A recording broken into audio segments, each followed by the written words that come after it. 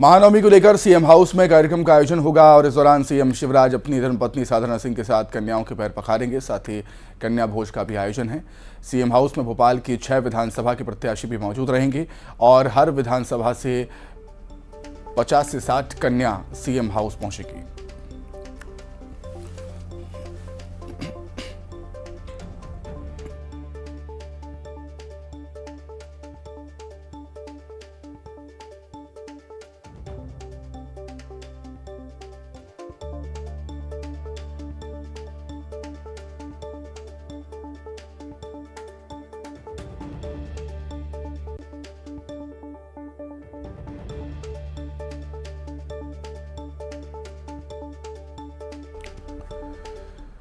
तो वही नरसिंहपुर में इलेक्ट्रॉनिक्स की दुकान में भीषण आग लग गई। सूचना मिलने पर दमकल की टीम मौके पर पहुँची और कड़ी मशक्कत के बाद आग पर काबू पाया। लाखों के नुकसान की बात कही जा रही है। वहीं दुकान के पास खड़ी कार को भी नुकसान पहुँचा है।